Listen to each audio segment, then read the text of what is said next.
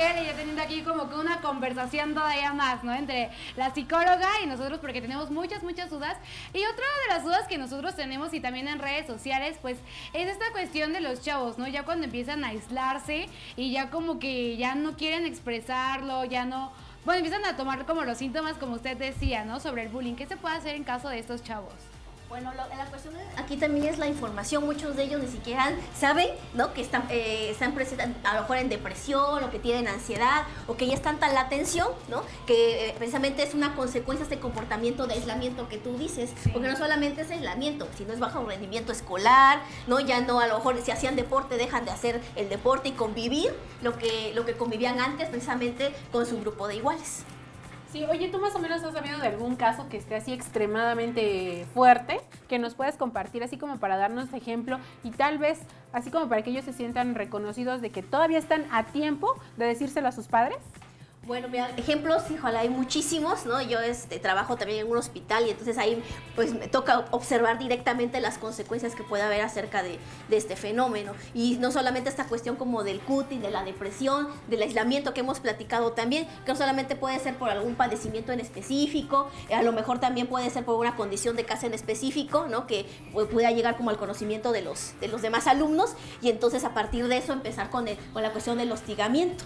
Oye, y por ejemplo, en el, en el corte estamos hablando con, con, nuestra amiga Aurora, que ahorita, por ejemplo, Facebook es un foco rojo en el sentido de bullying. Yo conozco y se ha vuelto viral una chica que, bueno, eh, sube sus videos y de, ella, ella se ve que padece problemas eh, mentales porque ella lo, ha confesado. De hecho, toma pastillas para, para, la depresión. Pero la gente toma sus videos bailando y les inserta canciones de cualquier tipo, rancheras, y las páginas que suben eso solamente lo utilizan para ganar me encanta, me gusta, me divierte en sus páginas. ¿Qué podemos hacer de esto al respecto? Bueno, aquí también esa cuestión de, repostear, ¿no? Eh, o de los likes que podemos otorgar, ¿no? se va convirtiendo también en una especie de adicción en algún momento, ¿no? Y ese reforzador social o ese aliciente social, pues también se convierte en un factor de riesgo. Por ejemplo, cuando alguien sube alguna foto, ¿no? Y entonces, o video, como el caso que tú mencionas, pues la manera en cómo hacemos uso de esa información, finalmente cuando algo sale de nuestro teléfono, chavos, ya queda a disposición de alguien más. Y el uso que haga de eso, pues pues entonces lo puede bajar o lo puede repostear y se rompe la privacidad. Eso hay que tenerlo muy consciente cuando subimos información a redes sociales. Y que también nos volvemos en cómplices, ¿no? O sea, cómplices y de testigos. y no estamos haciendo nada y al contrario, lo estamos fomentando y es algo muy grave y muy peligroso sobre todo para las personas que lo sufren. Sí, pues ya está entrando un poco más como que es el ciberbullying, ¿no? Por ejemplo, también en esos casos igual y uno como chavo pues está ahí metido y tal vez no lo detecta. ¿Cómo lo podrán también detectar otras personas ya en el ciberbullying? Porque como que ha de ser diferente o es como lo mismo. Bueno, las consecuencias hacia la, a la persona que le afecta es algo muy similar, ¿no? Hablamos de consecuencias psicológicas, ¿no? De consecuencias en el estilo de vida y, la, y todo lo que son sus propias motivaciones. Por ejemplo, hay alteraciones en sueño, alimentación y muchas cosas que podemos observar. Pero en el caso, por ejemplo, del ciberbullying, lo que lo hace más, eh, que se potencialice más, es el gran alcance que tienen las redes sociales. Entonces, la, la persona puede ser en anónimo, puede hackear un perfil, ¿no? Y entonces a partir de ahí ejercer esta violencia, sobre todo psicológica, hacia la persona. Y qué triste y por ejemplo, otro tipo de bullying que ya hemos mencionado y que yo sí quiero como que entrar a fondo porque no se conoce demasiado es el moving, el este bullying en el, en el trabajo. ¿Por qué se origina muchas veces este tipo de acoso o burlas en el trabajo? Bueno, eso es a nivel organizacional, eso quiere decir que es a nivel también laboral y es entre adultos, ¿no? Entonces, si ya tenemos factores de riesgo, ¿no? Desde, desde la infancia y la adolescencia, pues entonces, ahora cuando estemos ya en un ambiente laboral, llevamos esos patrones de aprendizaje también ahí. Y entonces ahí se convierte en una, una situación también de rivalidad a veces o de competencia por, la, por el propio ambiente laboral y por una remuneración de tipo económico social. Y que también estas conductas a veces van aumentando, ¿no? Bastante, porque a veces en lugar de disminuir aumentan ah, muchísimo. Bueno, una característica de la violencia es que comentamos en algún momento también, es, que va en espiral incrementa en frecuencia e intensidad conforme va pasando el tiempo. En el caso, por ejemplo, del móvil entre adultos, ¿cómo se podría frenar un poquito esto? Porque, bueno, entre chavos, pues ya están los papás y los amigos para ayudarlos. Pero ya como que con adultos es un poco más complicado, ¿no? ¿Qué se podría hacer? Sí, aquí depende también mucho de las instituciones y de las organizaciones, ¿no? De la forma en la que están organizadas y también de la capacitación que puedan tener dentro de esas mismas organizaciones. Aquí, por ejemplo, es muy importante ver aspectos como la inteligencia emocional, manejo de emociones, expresión de emociones, porque muchas de las personas que ejercen el bullying son personas o con un un dolor muy fuerte, ¿no? O, o están enojadas o tienen por ahí también algunos problemas este, circunstanciales importantes. Y por ejemplo, que ahora se ha vuelto muy famosa la palabra godines, ¿no? Ahí viene el godines, ¿no? Y el godines es como una persona que no se... que es una también forma de mofa también, que, que ¿no? no se que no sí, se y desde ahí empieza también, ¿eh? O sea, porque desde una burla empieza y ya te estás volviendo parte de eso. Y la verdad está muy mal.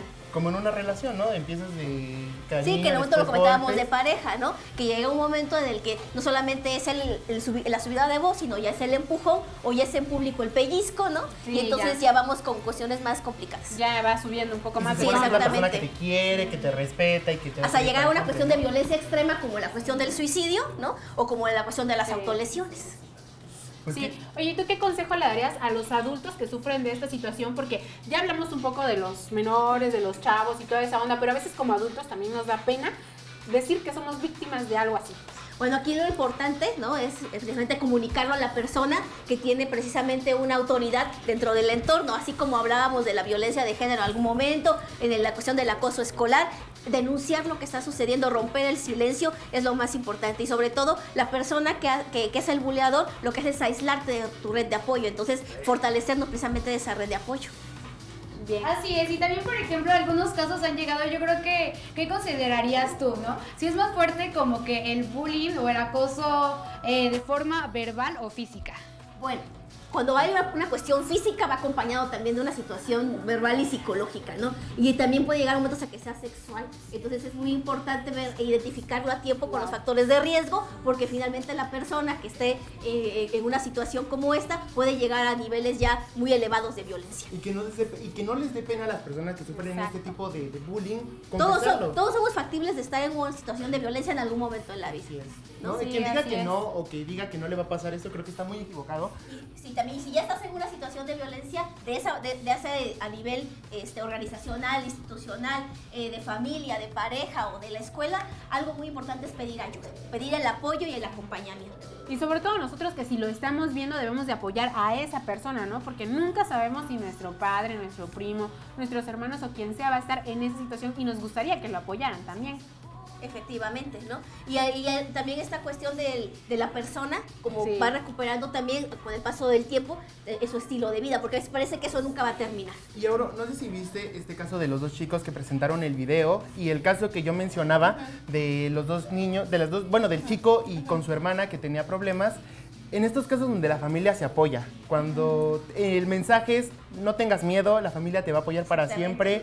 ¿Qué opinas de eso? Bueno, eh, ese tipo de foro de expresión como el que vimos hace un momento, ¿no? Es una manera también, digamos nosotros, de resignificar o de, de transformar eso que sucedió en una información que le pueda servir a, a los demás, pues, ¿no? Y además la familia, ¿no? Que No, siempre va a estar ahí para apoyarte. ¿no? Sí, sí, sí, fortalecer todos esos lazos es muy importante y los vínculos. Eh, al final de cuentas, eh, la persona se aísla porque considera que está sola, pero en realidad puede tener muchas personas en su entorno que la pueden apoyar. Oye, ¿tú conoces alguna institución o sabes de instituciones que les puedas recomendar a nuestros amigos que sufren de bullying? Bueno, pueden acercarse, hace rato mencionaban del DIF, ¿no? El DIF cuenta con un equipo ahí de, de psicología, se pueden acercar también a sus centros de salud, que eh, algunos también ya cuentan con servicio de psicología, y en sus escuelas, regularmente en las escuelas hay personal también de psicología o algún, algún tutor, supervisor, ¿no? Que esté perfecto, que le pueda, les pueda apoyar precisamente con eso. Y fíjate que muchas veces los papás dicen, no, pero ¿por qué mi hijo tiene que ir a, esas, a esos cursos como de psicología? Ajá, si no está muy bien?" loco, dice. Así O sea, es. lo primero que dicen es eso. Pero no saben que, que aunque no muestre como señales, puede adentro de su ser ya puede estar como la necesidad de empezar a hacer bullying, ¿no? Sí, exactamente. Entonces, acercarse es muy importante. También los padres yo creo que pueden recibir una capacitación antes, ¿no? Por ejemplo, hay personas o chavos que ya lo están pasando, pero hay otros que tal vez pueden estar susceptibles a que lo pasen, entonces también pueden tener como que alguna capacitación. Sí, la prevención es muy importante. La información, ¿no? La información es la herramienta más importante que tenemos ahorita para cualquier tipo de situación o fenómeno como estos. No, pues qué interesante todo lo que nos estás diciendo. Aurora, quisiéramos tener como todo un programa completo de cinco horas para, para hablar de este tema que día a día Sí, crece más, y ¿no? que es Con muy el amplio, que la verdad tenemos muchas dudas nosotros y también los chicos que nos escriben en las redes sociales. Así es, por ejemplo, en las redes sociales pusimos que hoy íbamos a hablar de este tema y nos dicen cómo enfrentarlo en la preparatoria, porque muchos lo enfrentan en la secundaria, en en la la primaria. Pero en la preparatoria se enfrentan como este bullying y lo, y lo, testea- y lo texteaban en, en nuestras redes sociales, que es porque yo no quiero salir con ellos, porque no me gusta el ambiente en el que estoy y desde ya soy presa de bullying, ¿no? Sí, cuando formas a veces parte de, de lo común del entorno, ¿no? Eres susceptible al- quizás a lo mejor a este tipo de, de prácticas. Aquí también la cuestión es estar como muy seguro, segura, ¿no? De, de lo que tú quieres y de lo que tú sientes. Y a los chicos que cometen el bullying, ¿qué les dirías? A los, a los victimarios, por así decirlo. A las personas que lo ejercen, Ajá, ¿no? sí. Bueno, que finalmente, si hubiera alguna otra circunstancia, ¿no? Eh, tu- eh, también puedan acercarse a pedir, a pedir ayuda. La manera de resolver los problemas finalmente no es agrediendo a otra persona. Ahí lo que hacemos es multiplicar la violencia. Sí, y sin embargo a ellos no les gusta eso porque a lo mejor psicológicamente no les gusta por esa situación que están viviendo en casa o en algún otro entorno y van y lo hacen. También Pues sí. una cuestión de poder, ¿no? En algunos momentos también es, es- esta, la violencia es un desequilibrio de poder, entonces la persona que tiene ciertos medios, en este caso el medio social, pues le- se le facilita esta, eh, la cuestión del ejercicio de la misma. humillar a las Sí, personas. ¿no? exactamente. ¿no? Porque es más alto, o porque tiene más fuerza, ¿no? O porque las demás, o los demás de ese mismo grupo, ¿no? Lo tienen como en un, en un espacio, este, pues especial. Sí, ¿Y quiénes sí, son claro. más susceptibles a, a sufrir bullying? ¿Los hombres o las mujeres? Bueno, es que actualmente Sí. ya es muy similar. Ya ¿no? es parejo, ¿no? Sí, ya es parejo. Cualquier persona es susceptible de estar en una situación de estas. Pues mucho cuidado, ¿verdad, Jessy? Sí, hay que tomar mucho en cuenta todos estos factores y como lo mencionaba psicóloga, pues estar muy atentos, ¿no? Tanto los chavos, los adultos, los padres, todos en, en común, pues podemos apoyar también en todos estos tipos de cosas para pues irlo disminuyendo, porque finalmente pues está en nuestras Y manos. nos afecta a todos, ¿no? Al final de Sí. cuentas esto, formamos parte de una sociedad, ¿no? Y, y- y la violencia finalmente es la forma de convivir, ¿no? Hay que disminuir. Pues Muchísimas gracias. Aurora. Habla, no, no, no. Bueno, ya nos vamos a un corte y enseguida regresamos. Ahorita regresamos para seguir hablando de No este muevas. tema. No te muevas, no te aquí. despegues porque esto es.